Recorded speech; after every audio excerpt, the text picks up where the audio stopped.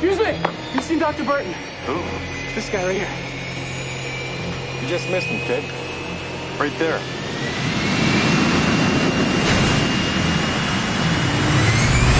Wait!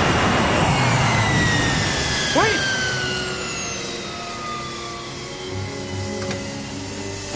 Dr. Burton! What do you think you're doing? Who are you? My name is Clark Kent. Look, my friend is really sick. Would you take a look at these scans? Please, by the time you get back to Helsinki, it'll be too late.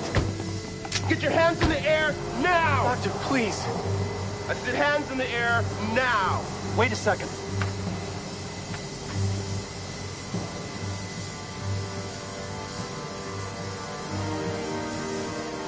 Where's your friend now?